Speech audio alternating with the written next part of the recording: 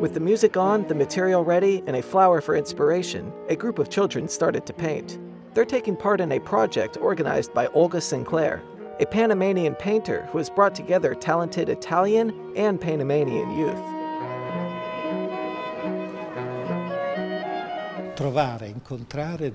We are searching for and meeting young people that are open to beauty, to research, with the desire to know what art means in the life of a person and also in everything else. It is significant that they are from Latin America, particularly Panama, a small country that now and always has had a culture with Latin origins.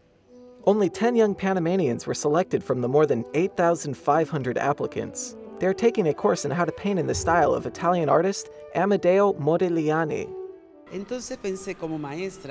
As a teacher, I thought something isn't working in children's creative department. Something in the educational system is failing in our countries. A child's mind must be open to new ideas so it can innovate. I said, We're going to paint like Modigliani. And of 8,500 young people in three different provinces who painted, these young people that are here were chosen.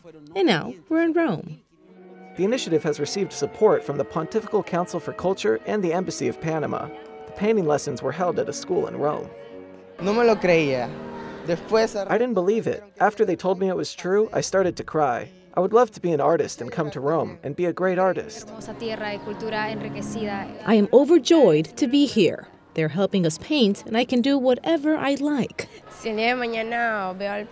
If I see Pope Francis tomorrow, I don't think I'll have the words to express everything. His dreams would come true because the group was able to see Pope Francis during his general audience. They greeted him and showed him their work and told him about what the Olga Sinclair Foundation does.